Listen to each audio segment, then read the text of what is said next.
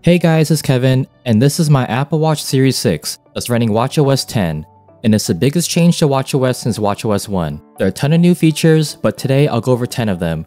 I also have separate videos on iOS 17 and iPadOS 17, so if you're interested, I'll leave a link to them in the description box below.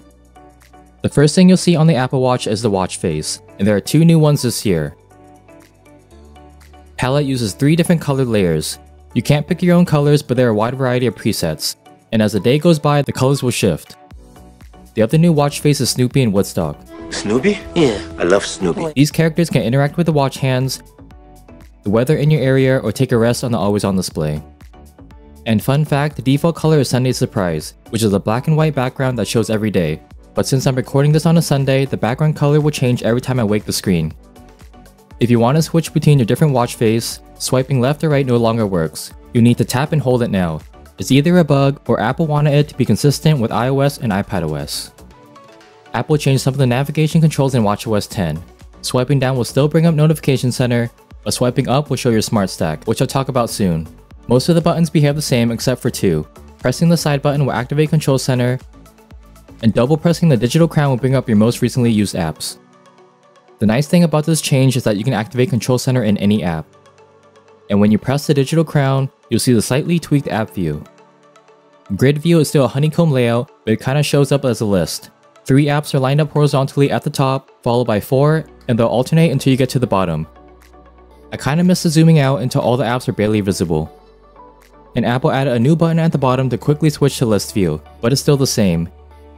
If you use grid view, you can turn the digital crown or a simple swipe to access your smart stack. This also works from any watch face. Smart Stack is a quick new way to look at information. These widgets can include the weather, activity, stocks, or sleep, and there are three complications you can set. Since these widgets are in a Smart Stack, they'll auto-arrange throughout the day showing your most important ones at the top. To edit your Smart Stack, you just tap and hold, then tap the plus icon. There's several you can choose from, but it's only Apple apps for now. If you tap the pin icon, the widget will always stay at the top of the stack.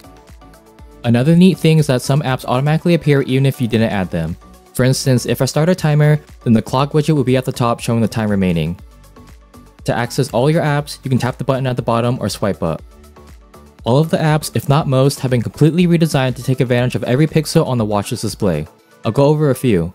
The weather app shows a nice background for each city depending on the time and condition. And when you dive into a city, the app will take up the entire screen. Turning the digital crown will show you more details about a specific view, and you can change the type by tapping the icon in the top right or in the middle of the screen. The clock app shows a different background like the weather app, but when you turn the digital crown, the time will fast forward. Unfortunately, this doesn't work in the stocks app. The activity app shows full screen views for each ring, and your awards have a brand new look. But two of my favorite redesigns are the now playing screen and when you receive a phone call. Apple made some improvements to a few workouts. For cycling, if you start the workout from an Apple Watch, it will appear on an iPhone as a live activity, and a tap will expand it. There are power zones to improve your performance, and compatible Bluetooth accessories can add certain metrics to your workout view. Hiking takes advantage of the new Compass app. In Elevation View, you can see a 3D layout. It also keeps track of when you last had cell reception. There's also trail information, topographic maps, and elevation alerts. And for golf and tennis players, the sensors in the Apple Watch can detect your hand movements. It won't magically make you a better player, it will help you improve your golf or tennis swing.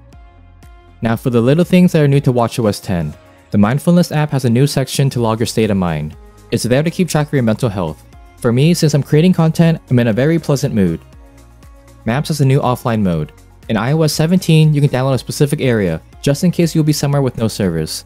And these downloaded maps are viewable on the Apple Watch. Name Drop allows you to share your contact information with someone new. This can be done with an Apple Watch or iPhone. In iOS 17 and iPadOS 17, your family and friends can leave a FaceTime video message if you don't pick up. And these messages can be viewed on iPhone, iPad, and Apple Watch. Also, group FaceTime audio calls are now available on Apple Watch. And that's it for the new changes in watchOS 10. Let me know what's your favorite feature in the comments down below. Again, I'll link my iOS 17 and iPadOS 17 videos in there as well. Thanks for watching, and if you haven't already, please like, subscribe, and hit the bell so you'll be notified when I post new videos. And I'll catch you guys in the next one. Bye!